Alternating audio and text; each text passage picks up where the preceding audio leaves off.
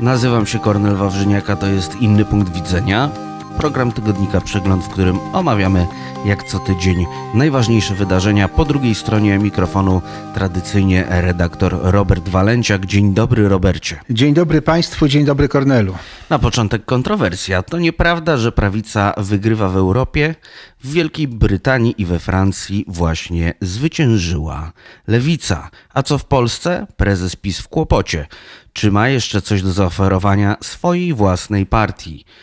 Bez stołków do rozdawania. Polityka informacyjna rządu, dlaczego jest tak słaba? Czy to pierwsze poważne ostrzeżenie i dla kogo?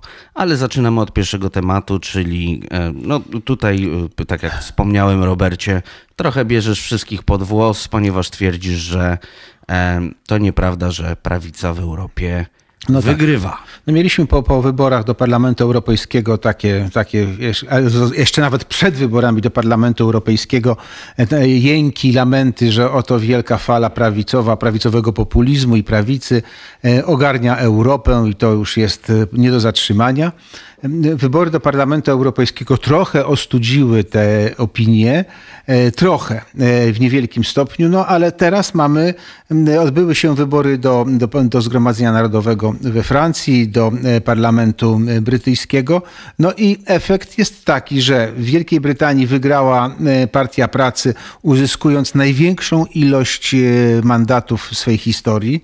Nie mówię głosów wyborców, tylko ilość mandatów. Ty się tu specjalnie zabezpieczasz, bo wiesz, że ja cię chciałem tak. od razu złapać, y, na tym złapać. Tak, y, tak, tak. Czyli tak. na tym, że frekwencja była tak niska, frekwencja że dała była tak niska i przede wszystkim bardzo słaby, bardzo słaby rezultat e, partii konserwatywnej na to wpłynął, a tam jest, tam jest ordynacja większościowa.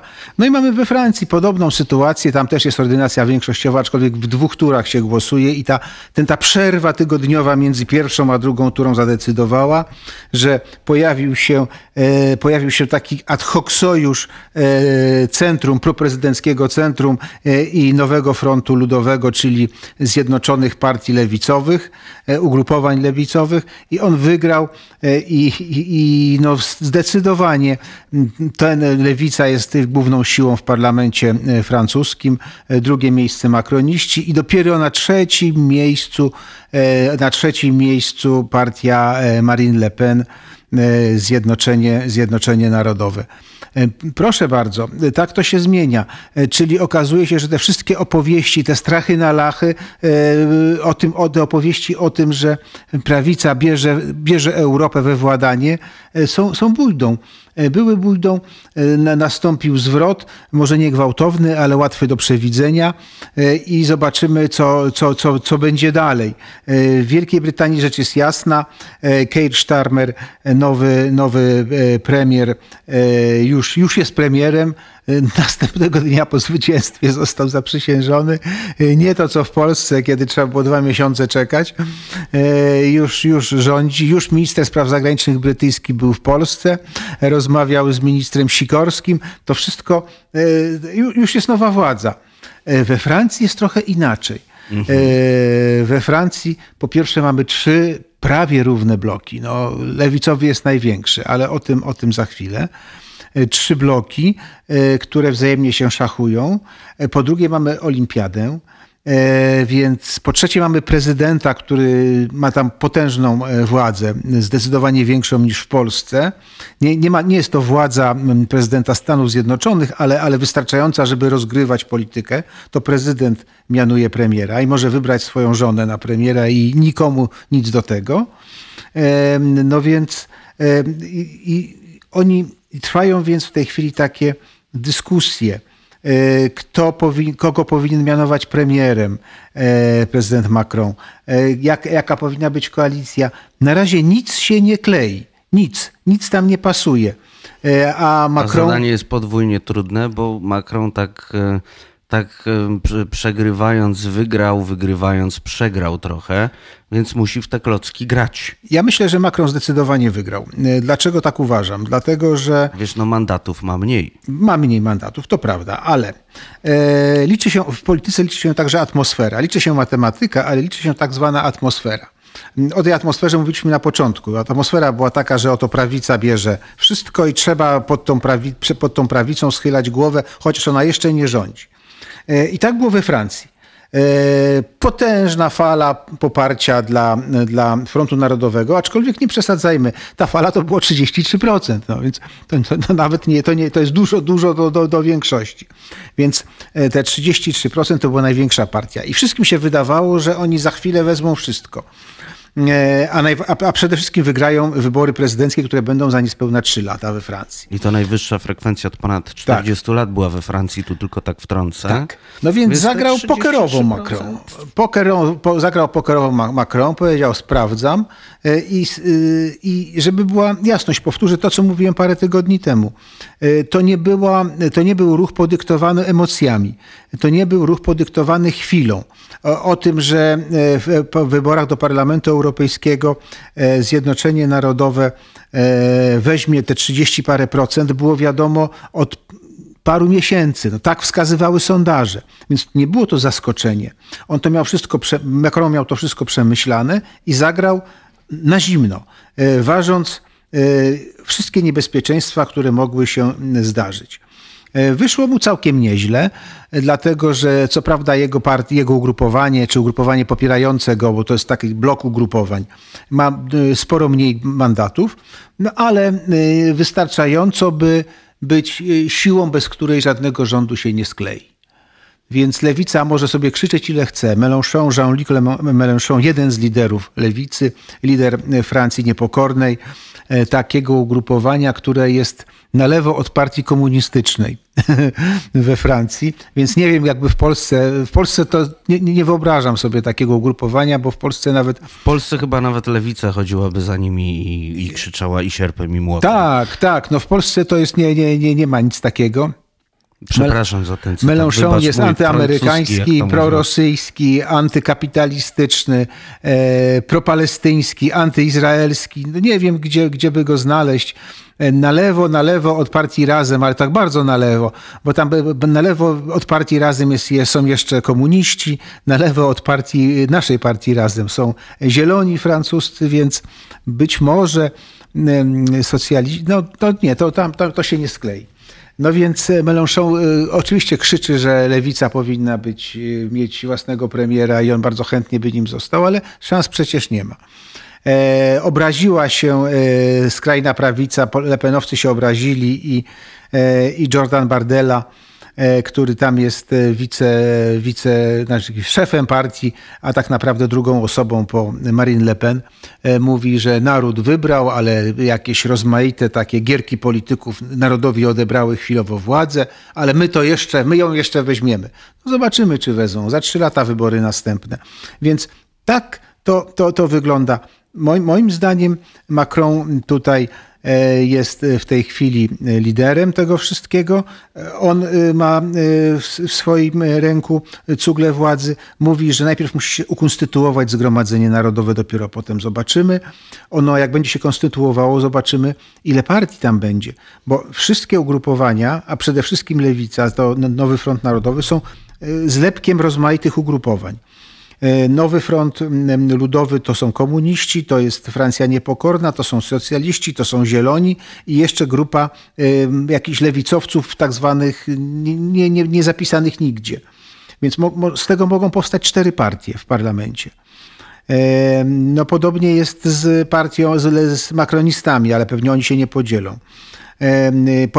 podzieleni są goli, goliści. No, część poszła e, z Frontem Narodowym, część poszła samodzielnie. To, to wszystko dopiero się kręci i, i, i w, tym, w tym takim, e, w tym bałaganie jest prezydent, który ma najwięcej, najwięcej narzędzi i on może tutaj rozgrywać. I jeszcze na zakończenie, wszystko wydaje mi się, że będzie próbował zbudować e, taki centrowy sojusz, czyli będzie chciał pozyskać do, do współpracy golistów, czyli republikanów, oni się nazywają dzisiaj republikanami.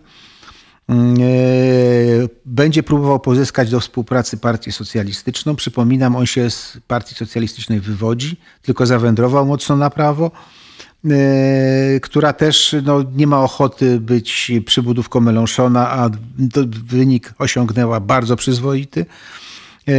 Ma niewiele mniej mandatów niż partia Mélenchona w tym, w w tym bloku. Także zobaczymy. Gra, gra jest i w tej grze prezydent będzie numer jeden.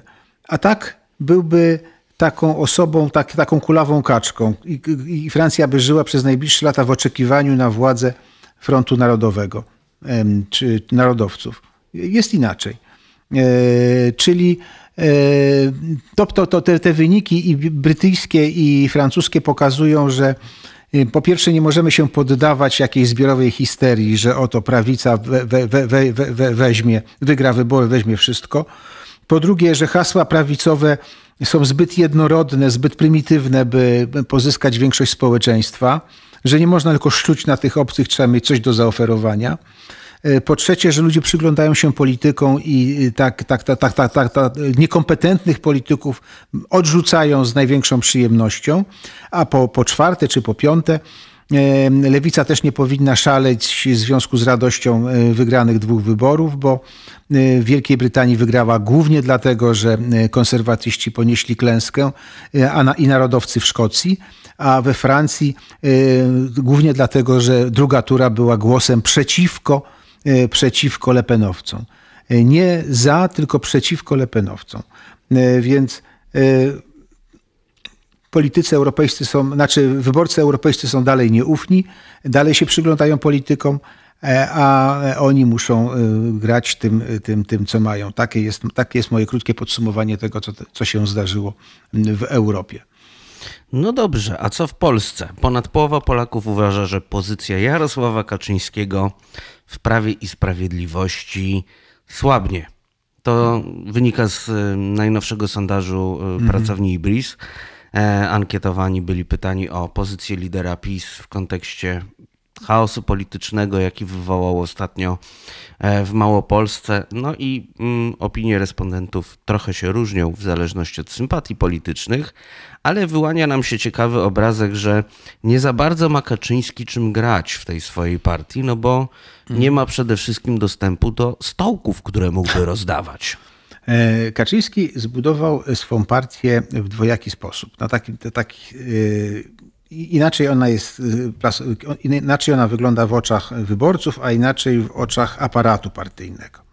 W oczach wyborców jest partią, która walczy z establishmentem, która się pochyla nad losem uboższych Polaków, która jest bardzo katolicka, E, bardzo taka swojska, to może jest złe określenie, ale no taka bliższa Polsce prowincjonalnej niż Polsce, Polsce bogatej, Polsce miejskiej. e, która jest partią rewanżu jakby społecznego i która oddaje ludziom, zwykłym ludziom... Robin Hoodzi się e, znaleźli. Zwykłym ludziom taką godność i, i poczucie, że Polska też do nich, do nich należy i od nich, od nich los Polski też zależy no to są, w moim przekonaniu, to nie są złe, złe rzeczy, e, tylko no, kwestia, jak to jest wykonywane, ale, ale to, jest, to jest tylko to na marginesie. Natomiast e, jeśli chodzi o aparat partyjny, który on zbudował i on wielokrotnie w wielu wywiadach podkreślał, że on się no, najchętniej albo, był, albo byłby emerytowanym zbawcą narodu, albo takim sekretarzem generalnym partii. On to lubi, te układanki partyjne. Ale ona jest zbudowana na zasadzie takiej bandy, która, która rzuca się, by łupić. Ci działacze partyjni za swą wierność i za swą pracę byli znakomicie wynagradzani. Byli wynagradzani stanowiskami e, wielokrotnie przekraczającymi ich kompetencje. E, mogli żyć jak pączki w maśle. E, I to była, i, i tym rozdawaniem prezentów, rozdawaniem łupów, Kaczyński no, trzymał tę partię w ryzach. Mógł kogoś wynagrodzić, a kogoś odsunąć, spychając go, spychając go w niebyt. No dobrze. No ale to się, ten model takiej partii łupieszczej no, na naszych oczach się kończy prawda? Nie może rozdawać stanowisk w spółkach Skarbu Państwa, czy w ministerstwach, czy w jakichś agencjach rządowych, bo, bo nie rządzi. To, to odpadło e, od niego. E, więc w związku z po drugie, e, w najbliższe wybory będą za trzy lata, za trzy i pół roku. Więc on wtedy dopiero będzie mógł ustawić, bo, bo może rozdawać miejsce na listach wyborczych, prawda? On decyduje, kto jest na liście i, i na którym miejscu. Kto to na biorącym czy na, nie na biorącym. No ale jak, jak wybory będą za 3,5 roku, no, no to no cóż to, walczyć teraz, co będzie za 3,5 roku, to się zmieni, może, zmienić się może wszystko przez te najbliższe lata, zwłaszcza, że Kaczyński ma 75 lat Właśnie. i za 3,5 roku będzie miał prawie 79. A jeśli już o liczbach mówimy, to ja tylko wspomnę o tym badaniu Ibrisu, mm. a raczej o e, wynikach.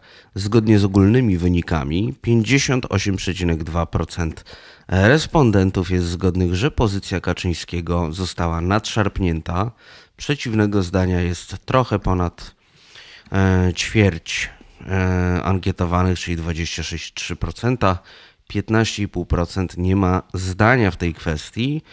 No są różnice, bo mm, zwolennicy PiS i Konfederacji mówią, że to tak nie jest, e, ale wskazania reszty wyborców, czyli wyborców KO, trzeciej drogi lewicy, no to dają nam e, tutaj wynik 94% wśród tak. tych wyborców, że tak jest, że Kaczyński słabnie. Tutaj bym brał pewną poprawkę na to, że no, szczególnie jeśli chodzi o wyborców KO, no to mamy takich, e, podobnie jak w PiSie, mm. wyborców wyznawców, tak. więc tak. oni... Oni zawsze będą twierdzili, że Kaczyński słabnie, tak. a Tusk Tak samo jak rock'n'roll umiera, tak. wiesz, od, tak, tak. od lat 70. Tak samo, tak samo Kaczyński już, y, już się poślizgnął na skórce od banana, tylko że te, to poślizgnięcie przypomina trochę modę na sukces. Wiesz, jak ta jedna z bohaterek, mm. to się wszyscy śmiali, pięć odcinków z okna wypada, odcinki mają po pół godzinie. To, to, to Kaczyński, nawet jeśli wszedł już na skórkę od banana, to będzie jak modzie na sukces, wiesz, przewracał się jeszcze kilka odcinków. Tak, tak, tak, zgadzamy się. A zawsze są zwroty akcji w modzie na sukces. Zawsze. zawsze. Są, zawsze są. A wszystko zaczęło się od buntu radnych PiS w Małopolsce i między innymi odejście e, z partii pana Ardanowskiego. Tutaj ma duże znaczenie. Były minister e, rolnictwa stwierdził, że e, założy sobie nową hmm. partię, bo jest po prostu, no można powiedzieć, że jest bałagan, tak? W ogóle krytyka, wiesz, krytyka prezesa tak. No to już jest jednoznacznym tak, odejściem. To, Krytyka to na łamach Interi, słuchaj. To strasznie. E, także to już on, się już on się już skreślił tutaj, ale partię opuścił również e, Piotr Ćwik, radny PiS w Małopolsce, który pełnił funkcję zastępcy szefa kancelarii prezydenta tak. Rzeczpospolitej Polski e, i wraz z człowiekiem e, Dudy właśnie e, szeregi formacji opuszcza również Józef Gawron, Także on akurat zapowiada działalność bezpartyjną w Sejmiku. To jest też słabnięcie y, w Sejmiku Małopolskim PiSu, tak.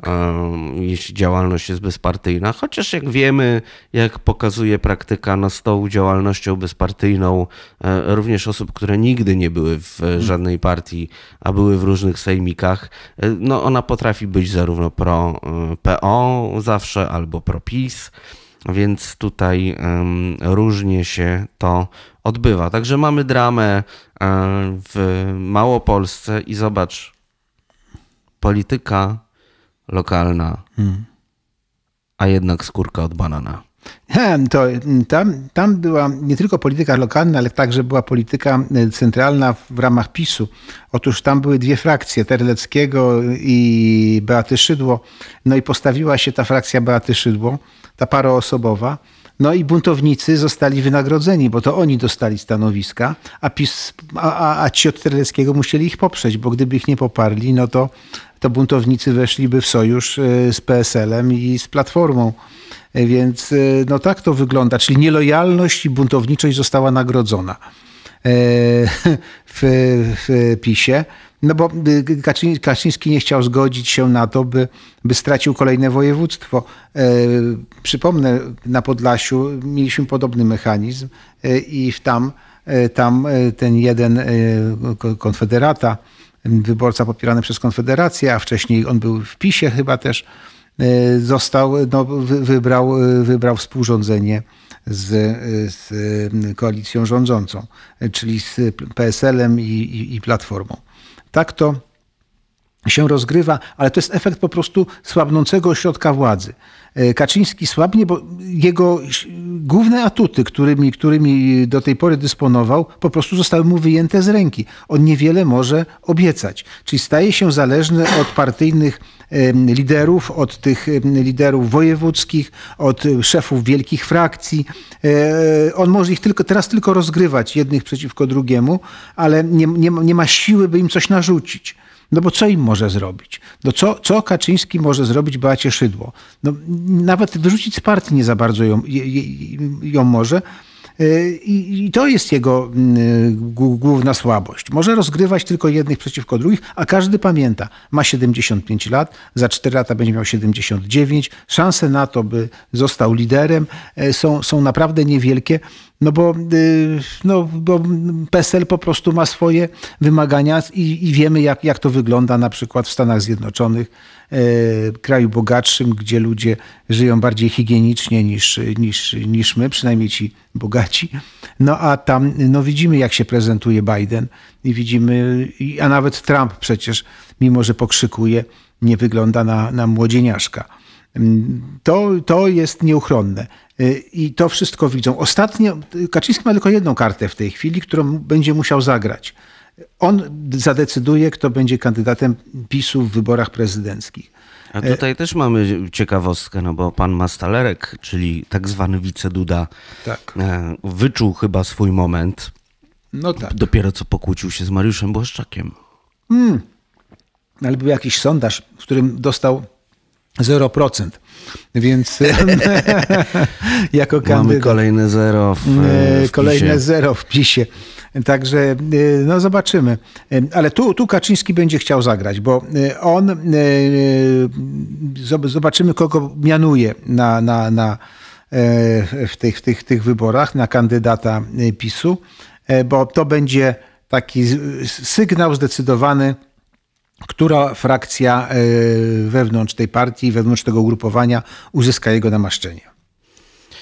No dobrze, to jak już się oberwało PiSowi, to teraz niech się oberwie całej reszcie w polskiej polityce, czyli polityka informacyjna rządu. Dlaczego jest tak słaba? Mm, no właśnie, Kornelu, dlaczego właśnie, jest tak słaba? Właśnie, dlaczego jest tak słaba? No ja jestem świeżo po e, rozmowie e, z ekspertami. Z ekspertami. No i tu myślę, że najciekawszą taką E, tezę e, jak na razie wysnuł pan e, Wiesław Gałązka, z którym rozmawiałem, a który jest ekspertem przede wszystkim od wizerunku politycznego.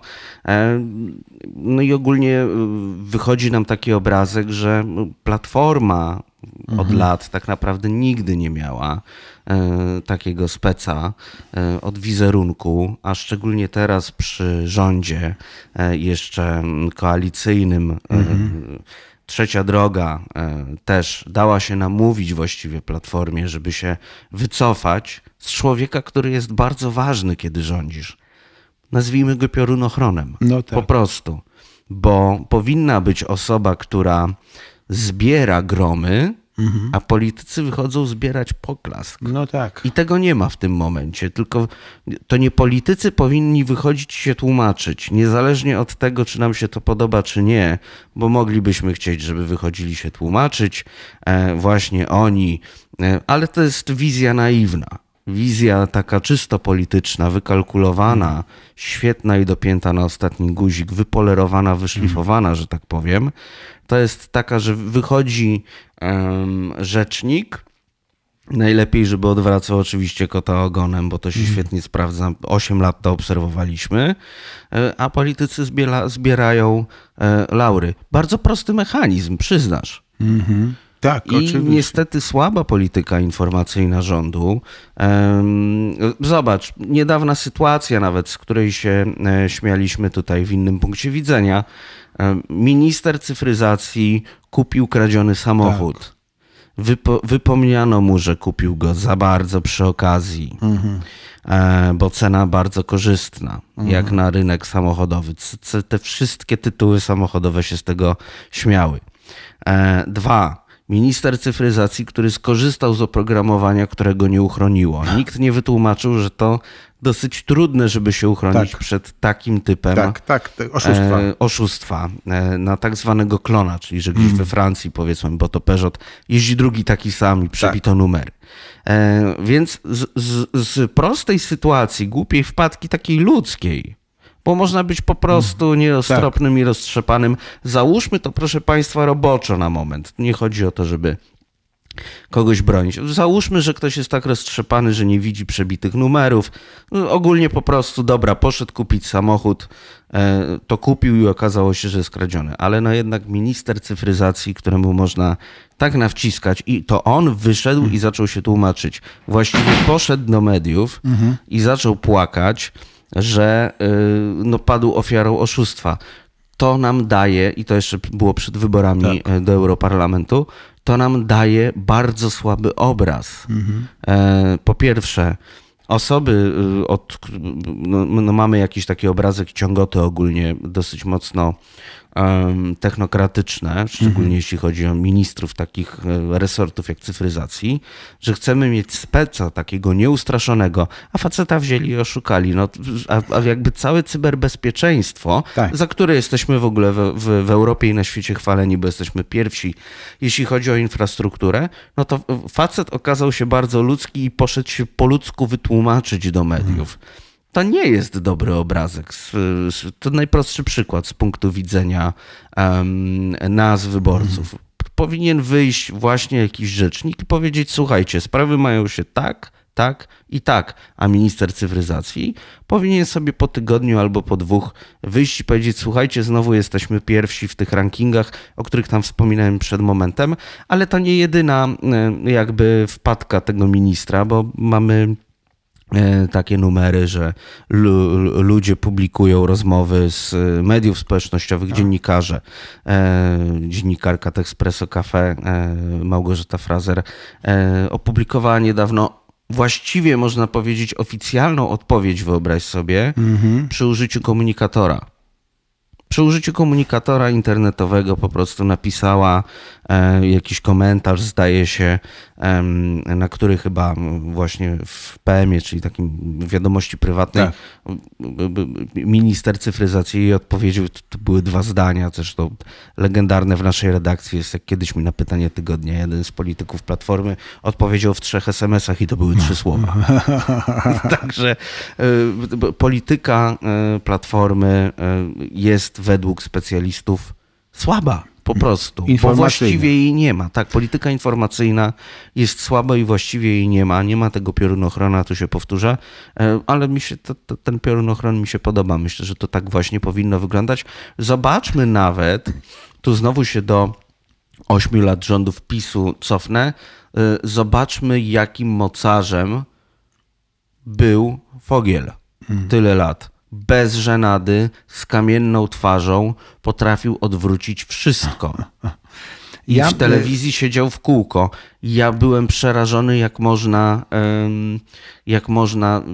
Znaczy, ja myślę, że facet nie ma lustra w domu, tak. ale to, bo, bo patrząc na skalę pożarów, jakie musiał mhm. gasić, oczywistych afer, facet siedział twardy i mówił: Nie, a nie albo właśnie to, hmm. albo tamto. Zobacz, to był taki piorun. No tak, a czy to było skuteczne, to jest pytanie. Czy to było skuteczne, to no. musielibyśmy to przeanalizować tak. w dłuższej pewnie rozmowie, ale taki człowiek był, a teraz takiego nie człowieka ma. nie widać. Ja myślę, że są dwa, tutaj dwie odpowiedzi, mam dwie uwagi jakby do, do, do całej sprawy.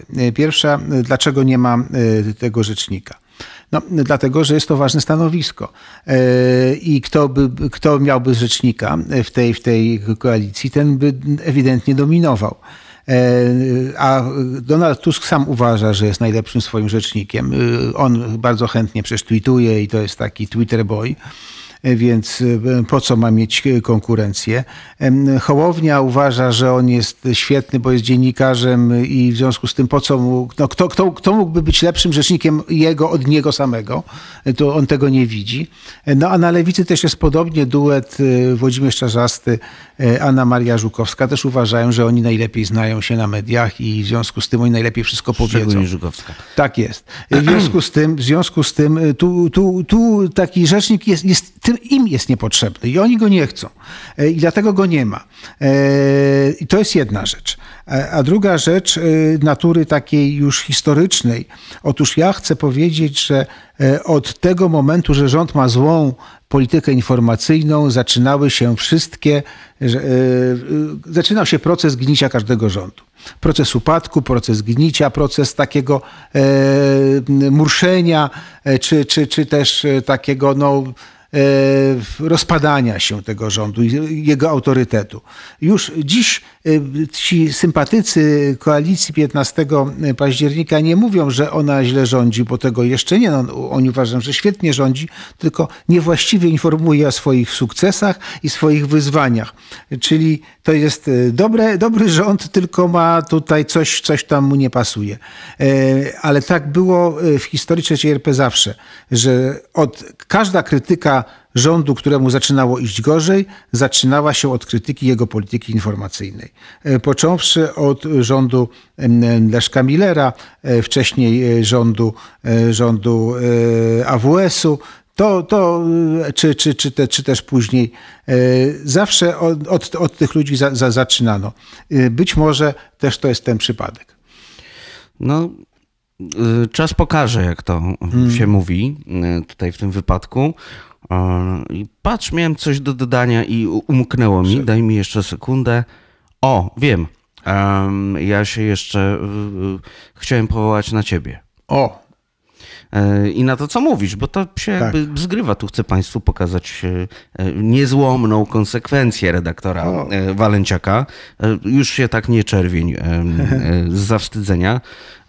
Słuchaj, no nieraz mówiliśmy o tym, rozmawialiśmy, ale również na łamach przeglądu i o tym pisałeś i, i, i mówiłeś w innym punkcie widzenia, że mamy do czynienia z partią wodzowską. Mhm i mamy no, czterech wodzów trzech partii, tak. bo o Kosiniaku i Kamyszu to nie, nie, nie, nie wspominam.